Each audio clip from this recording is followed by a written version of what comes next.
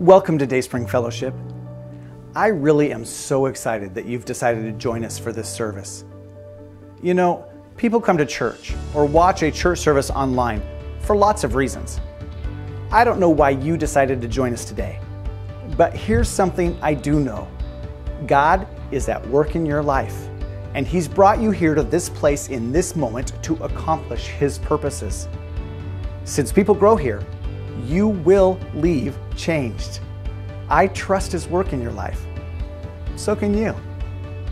I'm Chris Voigt, and I lead the pastoral team here at Dayspring.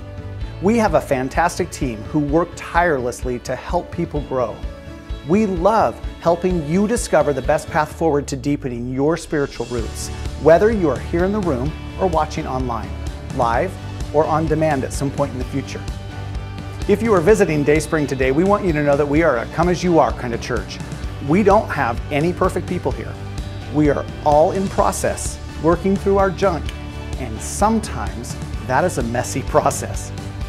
So if you can embrace our mess, we'll embrace yours, and together we'll let God work to clean it all up.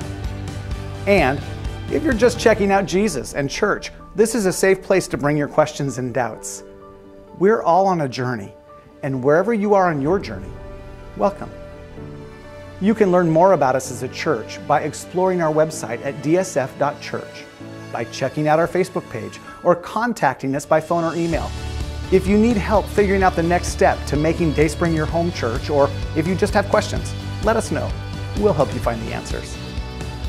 For today's service, you can find study questions by selecting Watch from the top menu of our website.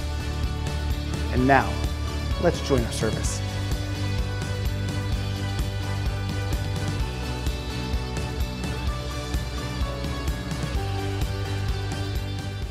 A rabbit trail is when a conversation goes somewhere unintended. Uh, the focus goes off script, so to speak.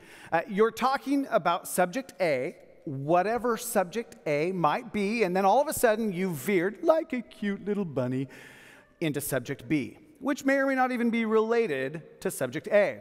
We've all experienced rabbit trails in conversations. In fact, uh, we've all been in conversations with that one person who can't ever seem to stay on the main trail. And unless that's you, if we're honest, they can drive us a little nuts because rabbit trails can make it hard to have one conversation, one complete conversation. Uh, and if there are decisions to be made, then they only end up getting delayed.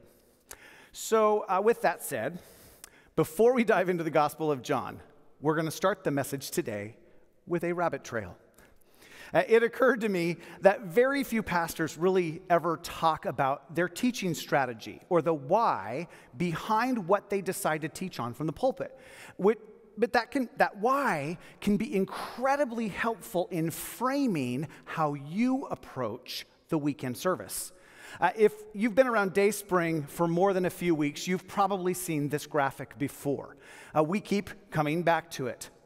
By the way, second rabbit trail here, we go over this graphic in Explore 201, which Michelle just talked about coming up on March 6th. This represents Dayspring's discipleship strategy. Everything we do around here finds its root in this graphic because we take seriously our responsibility to help you grow. And the best way to grow is to know not only where you are right now on your spiritual journey, but what the next stage of growth looks like and what kinds of things help you get there. So, no matter how long you've followed Christ, if you haven't gone through Explore 201, you should sign up.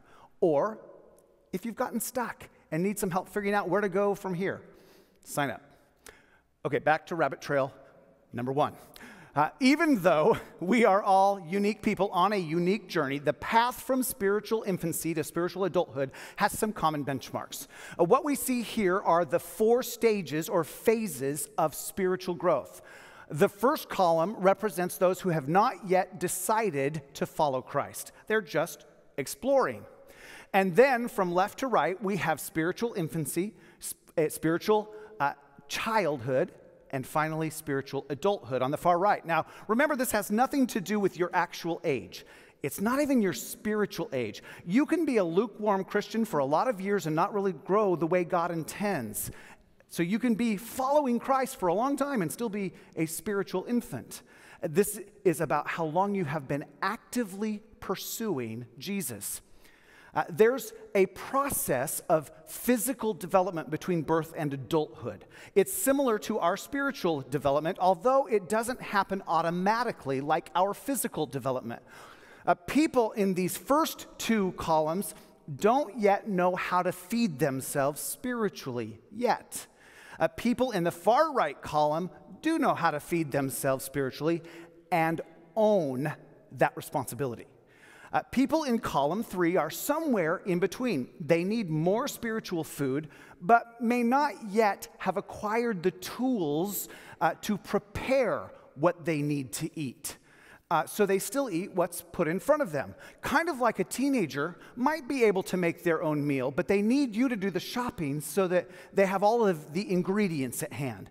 And no offense to actual teenagers, of course, though they could fix their own meal if mom gave them all the ingredients, they'd rather someone else fixed it for them.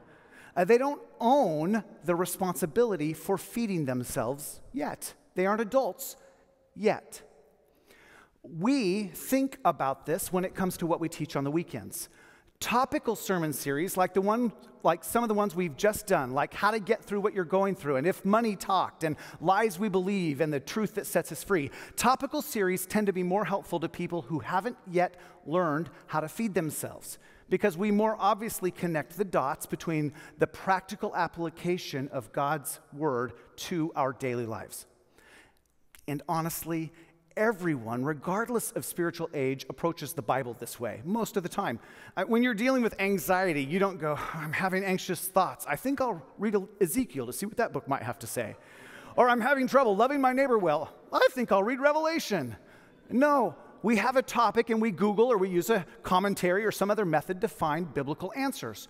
So, done well, a topical sermon series also teaches us how to appropriately find those verses that apply to our topic with respect to the context of the verse. So that we aren't trying to mold God's word to fit our needs, but allowing our needs to be satisfied by God's word. Studies that focus on a specific book of the Bible, on the other hand, like we're beginning today, are designed to be more helpful to spiritual teenagers they begin to unpack the layers of meaning behind the English words on the page. The ancient rabbis believed that every word or phrase in the original language of the Bible was like a gemstone with 70 facets. Uh, you look at it one way and you see one meaning, but then you turn it and you, you see that it can also mean something else just as beautiful. This is what makes the Word of God living and active. When we go through a book study like the Gospel of John, we are helping to reveal different facets of God's Word. Uh, those of you who are in the far right category could eat up facet after facet and would prefer that the weekend message be just that. However, many of our Dayspring family aren't yet spiritual adults. So, those of you who are in this far right category are going to have to go deeper on your own, which is okay because you are equipped and motivated to do so. And if you aren't, then you aren't a spiritual adult yet.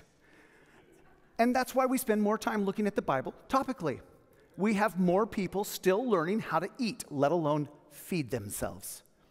Now, for you, as we go through John, your job is to watch the kinds watch for the kinds of signs that indicate that there might be a facet that needs more exploring. And you're also going to have to look a little bit harder to figure out the practical application for your life. That's okay. It will help you grow, which is what we're all about at Dayspring. So, now, depending on where you are in your spiritual growth, you have your marching orders for this next series.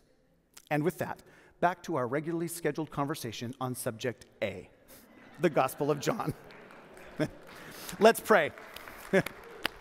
uh, Father, in these moments now, wherever we are on our spiritual journey, whether we're just exploring what Jesus is all about, or we've just crossed the line into our, our spiritual journey with Jesus, or we've been following Jesus um, like King David did for years and years and years, wherever we are on that journey, the Word of God is living and active and able to meet each one of us where we are. And we pray that today the Holy Spirit would do His perfect work in our lives wherever we are. We pray in the precious name of Jesus. Amen. Okay, if you have your Bible in any form, whether physical or old school, hard copy or electronic, uh, go ahead and get yourself situated at the beginning of John. Uh, most of us know that there are four Gospels in the New Testament Matthew, Mark, Luke, and John. Each one was written by a different author to a different audience for a different purpose, which is why it can be a little hard for us, some 2,000 years later, to understand why they're all a little different. At first glance, it can even seem like they contradict each other. They don't, for the record, but it's, it's easy to see why they, it might seem like they do. Matthew was a Jewish tax collector before following Jesus. He wrote his gospel as a Jew to the Jews, trying to convince them that Jesus was the promised Messiah of the Old Testament. He wrote to connect the dots between what the Old Testament had to say about this coming Messiah to Jesus, emphasizing his regal rights uh, as the Messiah and legitimate king of Israel. Mark was not one of the 12 disciples. He was the son of a Jesus follower named Mary and was a close associate of Barnabas, Paul, and Peter. We see him show up in the book of Acts. Uh, most theologians agree that if Peter didn't actually dictate his story in the Gospel of Mark, he was at the very least the source of Mark's information.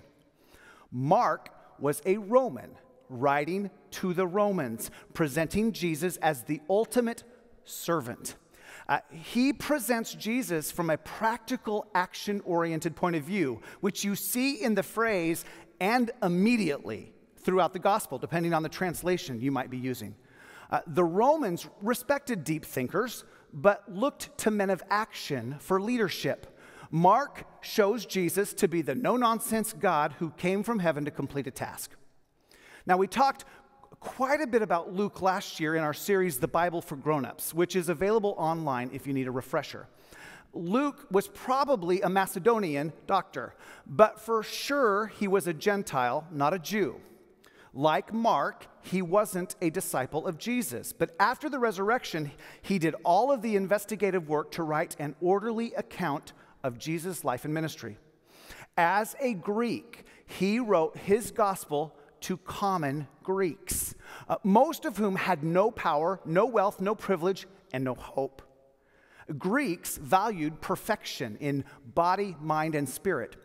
Uh, Luke presents Jesus as the perfect man, highlighting the humanity of Jesus, Jesus, favoring the title Son of Man and providing details about his humble birth, his ordinary boyhood, his compassion for the poor and sick, and the global scope of his ministry, which would have resonated with his Greek audience.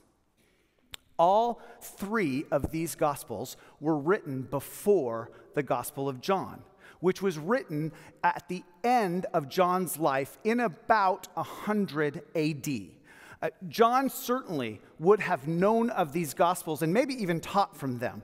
But at some point, with the leading of the Holy Spirit, would have come to recognize that together they still didn't offer a complete picture of Jesus. Yes, Jesus was the King of the Jews. Yes, Jesus was the suffering servant. Yes, Jesus was the Son of Man. But he was also the Son of God. God Himself in the flesh completely human and completely God, no less so than when in the beginning he spoke the universe into existence. Matthew, Mark, and Luke are called the synoptic gospels because they describe the events of Jesus' life and ministry from a similar viewpoint. Synoptic comes from the Greek word that means able to be seen together.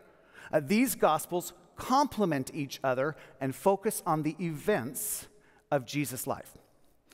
John, on the other hand, contains no childhood details he, and retells no parables. He bypasses Jesus' temptation in the wilderness, his transfiguration on the mountain, his commissioning of the disciples after the resurrection, and his ascension from the earth. He doesn't even offer Jesus' genealogy, illustrating that as God, Jesus had no beginning. Instead, he writes from a philosophical and theological perspective, and where the synoptic gospels focus on events, John adds meaning to those events, placing emphasis on the miracles of Jesus, which he calls signs. For example, all four gospels record the feeding of the 5,000, but only John records Jesus' sermon on the bread of life. He gave us the meaning behind the miracle. Because for John, these miracles were more than just events designed to grab people's attention, they were proof, the evidence that the Word had become flesh to give all of humanity reason to believe in Jesus, leaving no excuse for doubt. Now, put another way, Matthew says, This is the Messiah the King, worship him. Mark says, This is the servant who served humanity, follow him. Luke says, This is the only man among men without sin. Emulate him. John says, This is God in human flesh. Believe in him. John isn't writing to simply give us more information about Jesus. He wants us to believe in Jesus. In fact, that word in the original language appears 98 times in the Gospel of John. For John to believe isn't just about head knowledge about Jesus. It isn't just accepting the historical person of Jesus that he lived at some point in time. It isn't simply admiring him or emulating him or believing in his cause. It is, of course, all of those things. The original Greek word does mean to acknowledge the truth as truth. But even more than that, to believe is to accept what he says as truth, and even more importantly, to trust, to rely in, to derive confidence in Him. Everything I know about life, everything I know about whatever occurs after life, is dependent upon His claims about Himself and how I respond to His offer of grace. I believe in Jesus Christ. John wants everyone to believe in, put their trust in, and surrender their lives to Jesus. And for those of us who already follow Christ, we have a responsibility to share Jesus with others. What makes the Gospel of John important for us is understanding and being able to communicate who Jesus said he was. Uh, most people will acknowledge that there was a historical person named Jesus who was probably a good man, even a prophet. But that's not who Jesus said he was. Jesus said he was God. And if that is true, then it should change everything. Because if he wasn't God, then he was a liar or a con man or a lunatic. But if he is actually God, that's a game changer. Jesus claimed to be God. And John provides the supernatural proof to back up those words. In fact, that's where he starts in this first chapter. Uh, John recorded seven names and titles of Jesus that identify him as eternal God. And we're going to unpack each of them as we get to them, but don't miss the, pro- the progression as we work uh, from verses 1 through 18, from infinity and eternity down to the single individual Christ, in whom all of that infinite and eternal reside. So, starting in verse 1, John writes this In the beginning, the Word already existed. The Word was with God, and the Word was God. He existed in the beginning with God. God created everything through him, and nothing was created except through him. So, this, the, the first title John gives us for Jesus is the Word. Around 500 BC, a Greek noble, nobleman named Heraclitus taught that the universe operates according to a rational structure, a unified ordering principle. And if we carefully observe this, its patterns and solve its riddles, we can observe this structure. According to this theory, all the laws of physics, mathematics, reason, and morality can be traced back to this ordering principle, which he called logos, or the word. Now, over time, other philosophers and philosophies, such as the Stoics and the Gnostics, jumped on the logos bandwagon. Ephesus was not, uh, not only the birthplace of this idea, but it was the center of this Greek philosophy. Enter John, who was writing his gospel most likely in Ephesus. And all of these secular influences threatened to corrupt Christian doctrine. We talked about Gnosticism in particular in our series from 1st, 2nd, and 3rd John How Do You Recognize a Christian? If you missed that series, you might want to go back and watch. You'll find it along with several others on our website. Uh, what John did here was genius. He affirmed the parts of Greek philosophy that were valid, he found common ground in order to preach the truth of Christ. He met them where they were in what they already believed and then led them to Christ. Just as our words reveal our hearts and minds to others, Jesus Christ is God's word revealing his heart and mind to us and words matter.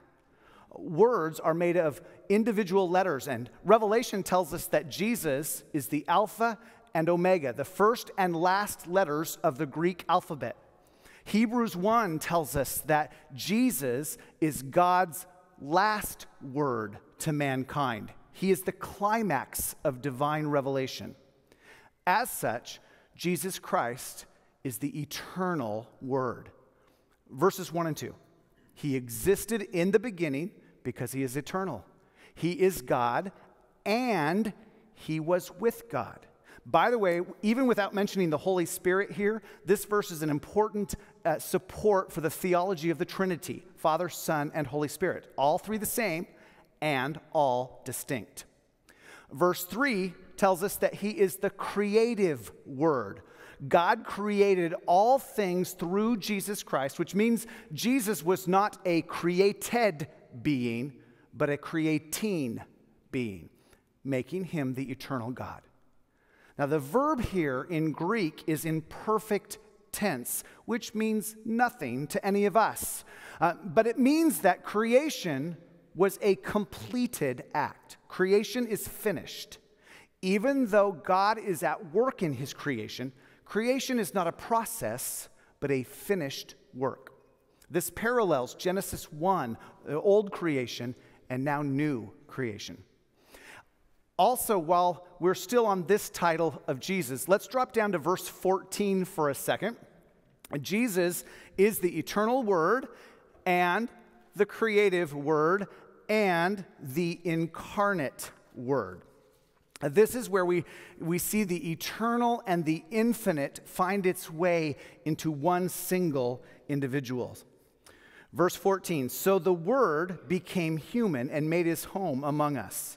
He was full of unfailing love and faithfulness, and we have seen his glory, the glory of the Father's one and only Son.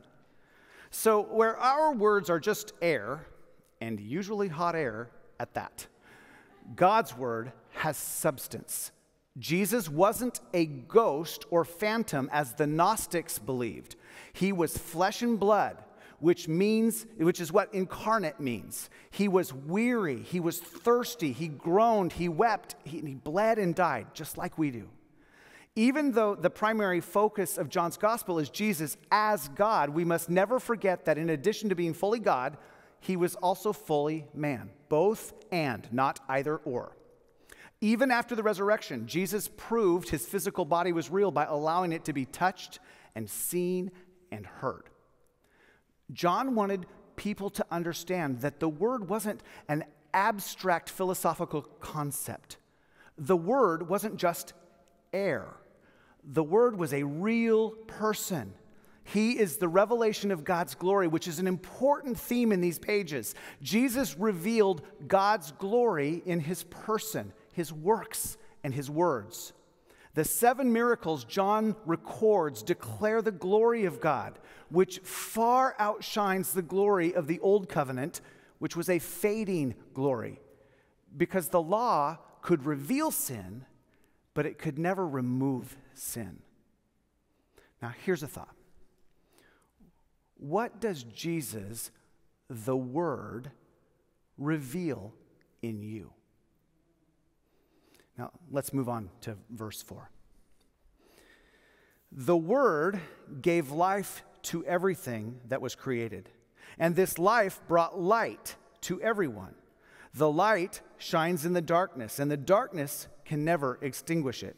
Now, the second title that John gives us for Jesus is the light. The word life is a key theme in the Gospel of John.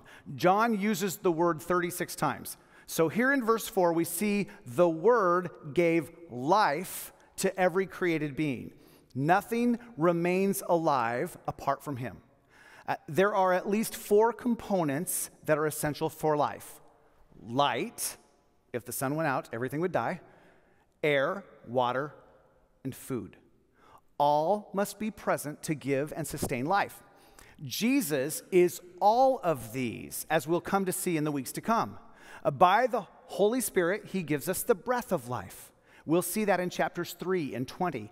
Chapters 4 and 7 describe Him as the water of life. And John 6 tells us that Jesus is the bread of life. But here, He is the light of life.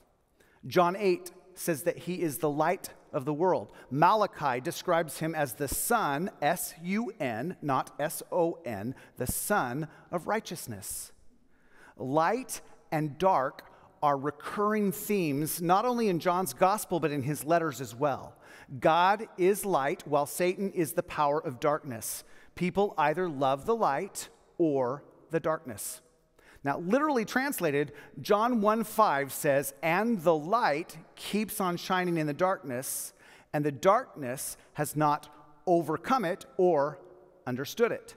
The Greek verb can mean either to overcome or to grasp or understand.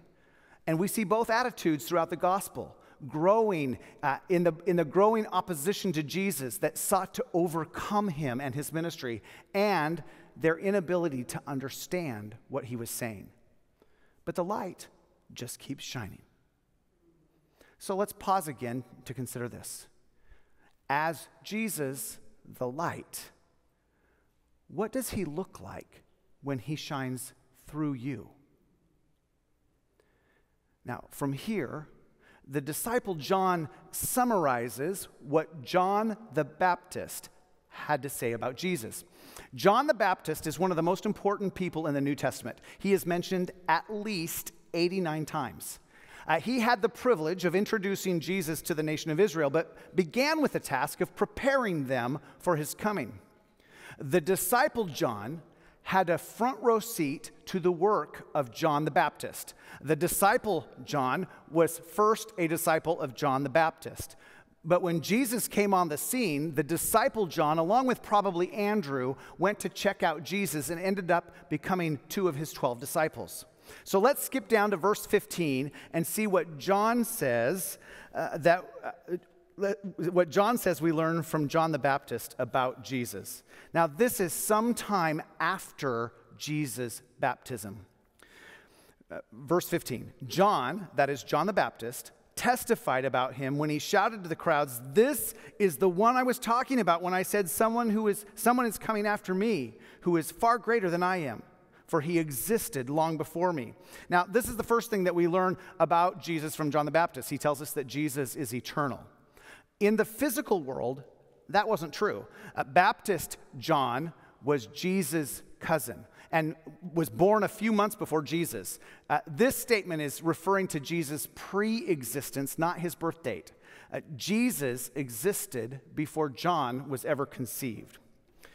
Verse 16 From his abundance, we have all received one gracious blessing after another. For the law was given through Moses, but God's unfailing love and faithfulness came through Jesus Christ. So, the second thing that uh, Baptist John teaches us about Jesus is that he is the fullness of grace and truth.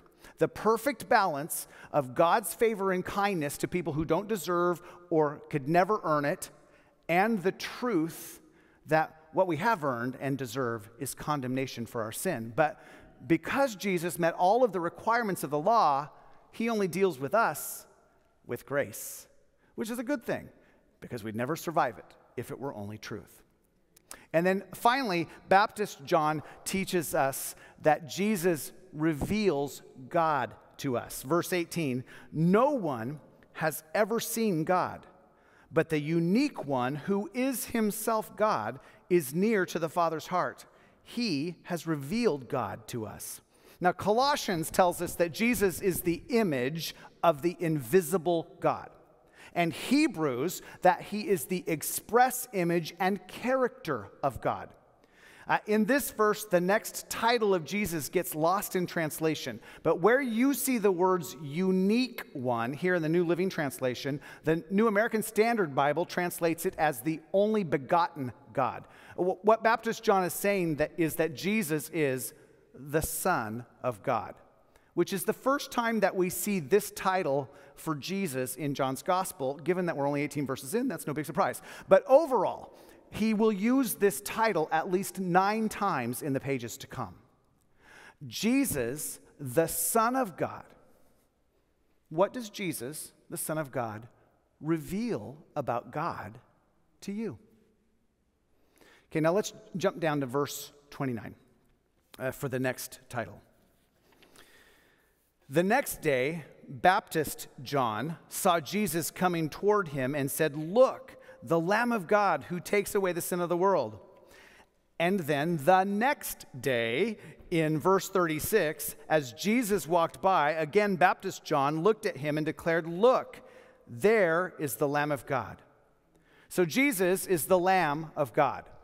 Now, I'm not really sure what was going on in this scene. It feels like it was a multi day Billy Graham like evangelistic event where Baptist John was the Billy Graham of the day. And Jesus is just gearing up his ministry. Maybe he's already finished his 40 days in the desert, since when you read these verses later on your own, you'll see that John is remembering the time that he baptized Jesus. So maybe Jesus is fresh off of backpacking in the wilderness and looking to begin his public ministry. The Jews would have been very familiar with lambs for sacrifices. At, Passover, they needed a lamb.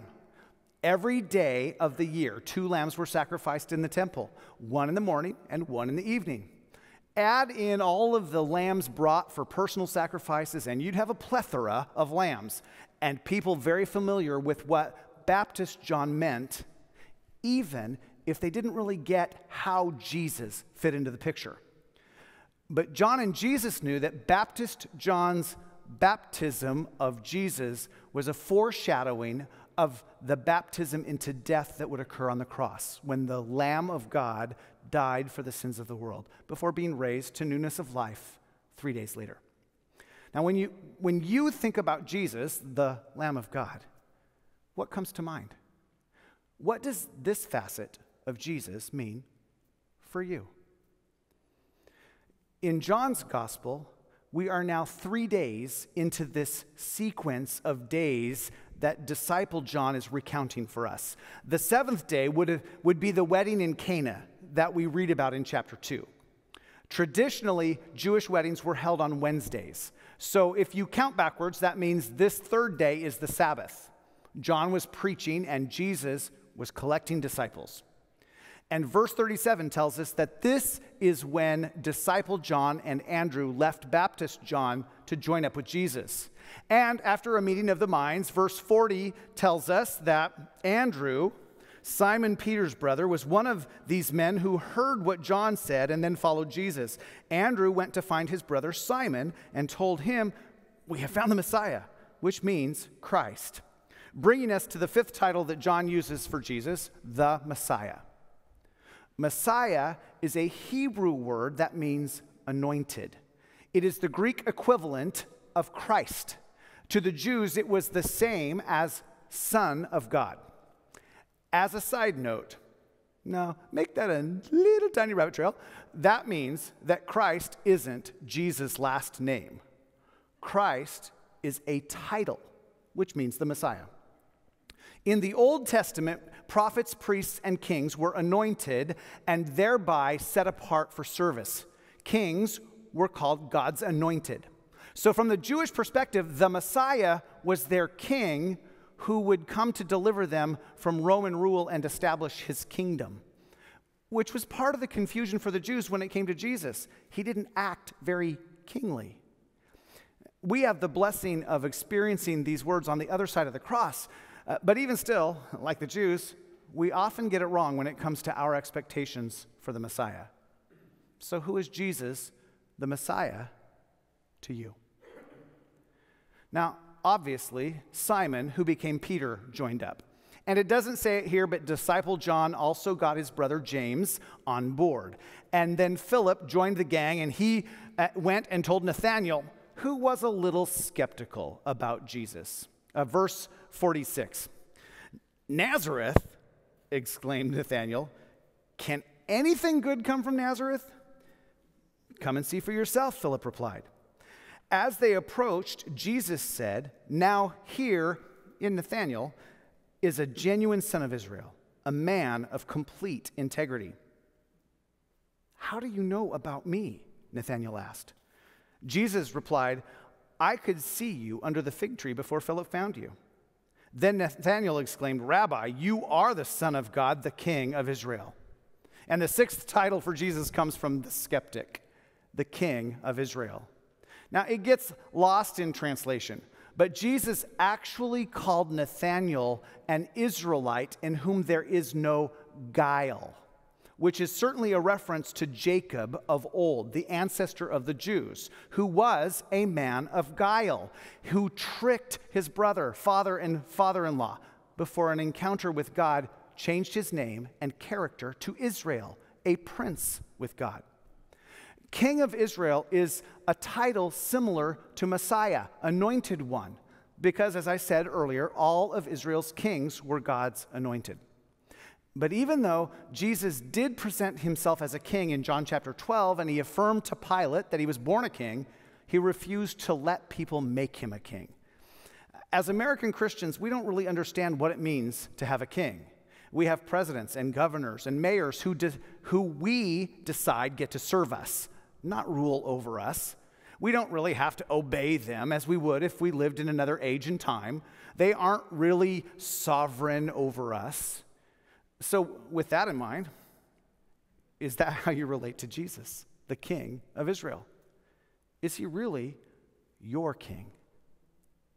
By the way, another rabbit trail is Nathanael himself. Some scholars believe that Nathanael and the disciple Bartholomew mentioned in the other Gospels are the same person. John never mentions Bartholomew, and the other Gospels never mention Nathanael.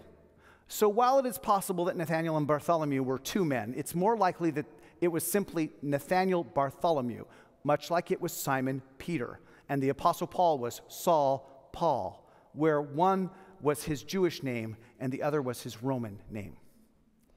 And then, last but not least, coming from Jesus himself, is the seventh title. Still talking to Nathanael, Jesus asked him, do you believe this just because I told you I had seen you under the fig tree? You will see greater things than this. Then he said, I tell you the truth. You will all see heaven and earth, and the angels of God going up and down on the Son of Man, the one who is the stairway between heaven and earth. Jesus called himself the Son of Man. A Son of Man was one of Jesus' favorite titles for himself. It is used 83 times in the Gospels and at least 13 times in John. The title speaks of both the deity and the humanity of Jesus. As the Son of Man, Jesus is the living link between heaven and earth, which explains the reference to Jacob's ladder in Genesis 28. Jacob thought he was alone but God sent the angels to guard and protect him and to guide him. Uh, Christ is God's ladder between heaven and earth. And in using these words, Jesus reveals his ultimate purpose for coming to earth to bridge the gap caused by sin between God and man. Now, most of us here in the room and watching online have crossed that bridge. Even still, I'd guess there are times when we think we're alone, much like Jacob felt back then. But how does that feeling align with what we know about Jesus, the Son of Man? Now, at the close of this fourth day, Jesus has gathered six of his 12 disciples. Little did they know what was to come in the next three years and how much their lives would change. Which brings us to chapter 2. But before we move on, think about these seven titles for Jesus the Word, the Light, Jesus, the Son of God, the Lamb of God, Jesus, the Messiah, the King of Israel, the Son of Man. Seven facets of Jesus. Now, I'd guess that if, if you had a little more time to just really uh, think about those seven titles, that uh, one or two of those facets would resonate in your spirit more than the others. That resonance is probably related to your life experience, to the way you met Jesus, what you need or needed from him in order to relate to him on a meaningful, life changing level. It's what connected you enough to surrender your life to him. I think John gave us seven facets of Jesus for much the same reason we have four gospels written by different people to different audiences. Whoever you are, whatever you've been through, wherever you're going, there is Jesus. He isn't just Jesus for the Jews. He's not Jesus for white people or Jesus for black people or brown people. He's far more than Jesus for the rich or the poor He's not just Jesus for those who have their, their act together or those who are completely broken. He is certainly Jesus for the marginalized, but he is also Jesus for the non marginalized. He's Jesus for the addict, the abused, the abuser, the lonely, the hurting. He's even Jesus for those who don't think they need Jesus. He is Jesus for everyone. He is the God who reveals himself to everyone, who loves everyone. Who is Jesus to you? Now, we clearly don't have time to cover chapter 2 today, which is fantastic because that means you have some homework to do. We'll begin in chapter 3 next week.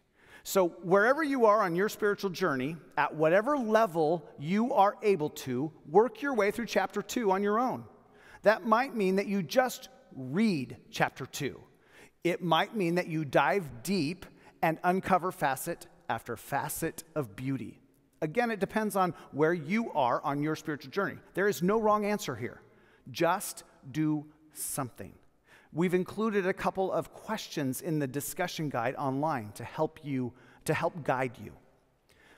When it comes to the practical application of this chapter, let me point you in this direction as Christ followers, we are called to share Jesus with people far from God. We aren't responsible for what happens when we share. We're just called to share and to trust that God will do whatever God will do with the seed that we sow. The best way to share Christ is to help them meet Jesus in that place in their lives where they need Jesus to show up. Usually that's in their greatest source of pain. Jesus has a title for that. So, who can you love there? Look at the people in this chapter who came because of an invitation a simple come and see, which we'll see again in John's gospel. So, who are you inviting to come and see? Let's pray. Father, we are so thankful for Jesus. Thankful that Jesus is faceted enough that he can meet any person where they are. That he can connect with any person, regardless of background or time in history or uh, experience in life. And Father, for those of us who have already made the decision to follow Christ, amen and thank you, Jesus. But what is probably true as well is that there are people, maybe even the room, watching online now or later, who have never crossed the bridge. The, the, the, the bridge of Jesus that covers the gap created because of our sin. And if that describes you, then today's the day. All you have to do is say, Yes, yes, I believe in Jesus. Yes, I acknowledge that my sin has broken that relationship, has made it impossible for me to ever be good enough to get to heaven on my own, to have a relationship with God on my own. But I say yes to Jesus. It really is that simple. What happens from here is a little more complicated, a little harder. Dying to yourself takes time. It's a lifelong journey that we are privileged to be on, as hard as it may be sometimes.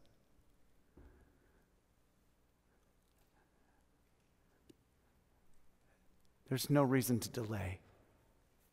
You don't have to have your act together before you uh, receive what Jesus has to offer, which is life now and eternal. Now, if that describes you, I want to invite you to say yes, but then take one more step. Let me know. God never intended for anyone to experience the Christian journey alone. He, he's called us into community. We are better in community. We grow better in community. So let me know. You can do that with the communication card. You can email me. But let me know. Tell someone.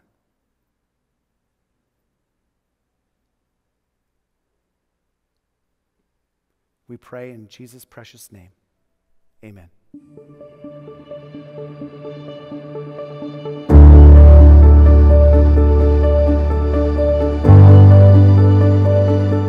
Thank you for joining us today.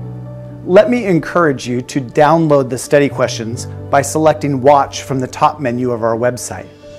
Working through those questions alone or with others will help the truth of God's Word find its place in your life please reach out if you have any questions or want help on your spiritual journey. My email address is on the screen, or you can call the church during the week.